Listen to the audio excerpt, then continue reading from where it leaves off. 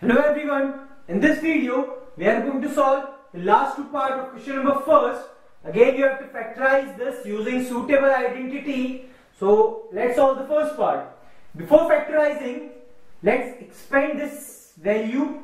So this is a plus b whole square and we know that a plus b whole square is basically equals to a square plus 2ab plus b square so this term can be expanded as a square plus 2 into a into b plus b square. So this is a square plus 2ab plus b square because our a and b are lm so instead of ab we are writing l and m and this is minus 4 lm this will remain as it is.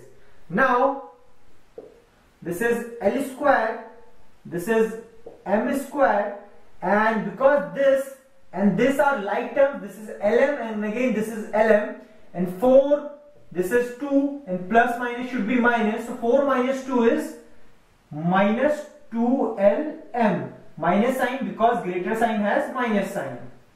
Now this value can be factorized using the formula which is a minus b whole square is basically equals to a square minus 2ab plus b square and this is same as this.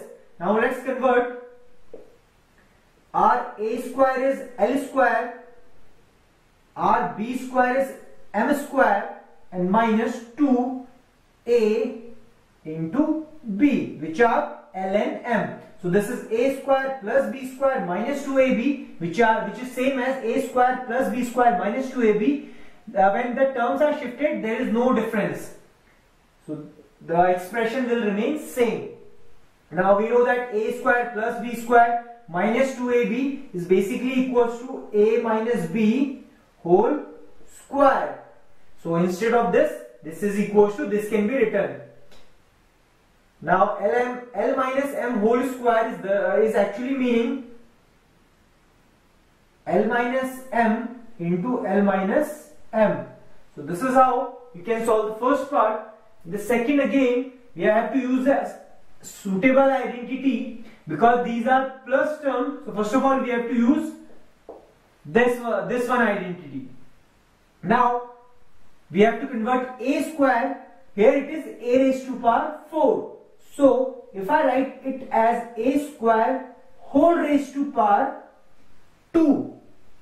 So actually r a here is a square means the first term is a square. Similarly the second term can again be written as b square whole raised to power 2.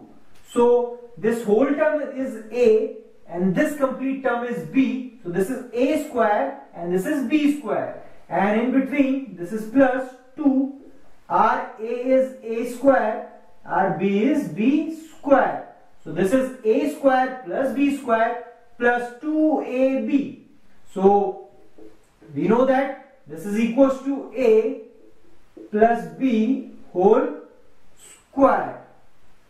So we have converted this into factor form. Now this again can be written as a square b square and again multiplied with same term because this square means same multiplied with same.